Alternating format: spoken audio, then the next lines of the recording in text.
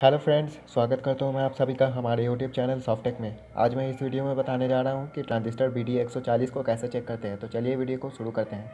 तो friends, transistor को check करने से पहले मैं इसके बारे में थोड़ा बता देना चाहता हूँ कि ये जो बी डी ट्रांजिस्टर है, ये 45 वोल्ट तक ऑपरेट हो सकता है। इसका मतलब कि हम इसके कलेक्टर से बेस और कलेक्टर से एमीटर पर हम 45 वोल्ट अगर देंगे तो ये काम कर जाएगा। अगर उससे ज़्यादा हुआ तो ये ट्रांजिस्टर शॉर्ट हो सकता है। और इसका जो बेस करंट है, ये 1.5 पॉइंट तक झेल सकता है। इससे ज़्यादा होगा तो ये ट्रांजिस्टर ख़राब हो सकता है। तो चलिए देखते हैं ट्रांजिस्टर को चेक करके कि इसमें जो वैल्यू है, कितना आता है।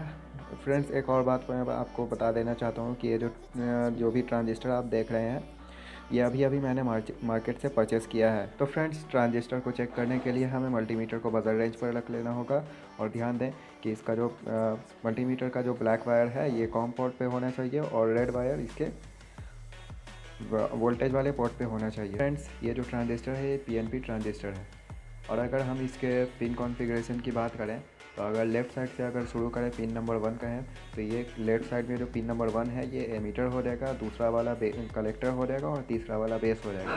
तो फ्रेंड, जैसा कि हम सब जानते हैं कि पीएनपी ट्रांजिस्टर को चेक करने के लिए इसके बेस पर हम मल्टीमीटर के नेगेटिव वायर को रखते हैं और पॉजिटिव से मल्टी ट्रांजिस्टर को चेक करते हैं।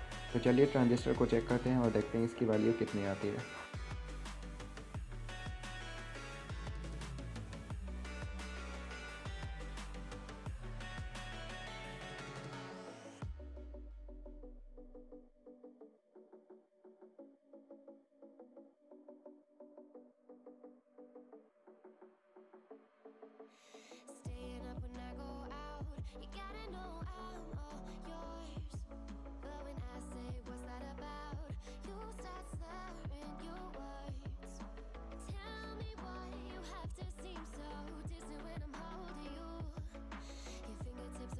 तो फ्रेंड्स, यहाँ हमने देखा कि बी डी को मल्टीमीटर पर चेक करते हैं तो इसकी वैल्यू कितनी आती है? ये जो भी सारे ट्रांजिस्टर आप देख रहे थे, ये सारे सारे के सारे नए ट्रांजिस्टर हैं।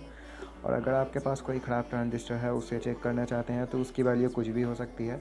वो शॉर्ट भी हो सकता है, कोई एक दो पिन शॉर्ट भी हो सकता है, उसका कोई लिमिट नहीं है ख़राब होने का। तो फ्रेंड्स, उम्मीद करता हूँ कि आपको वीडियो पसंद आई हो। अगर पसंद आए तो इसे लाइक शेयर और सब्सक्राइब ज़रूर करना।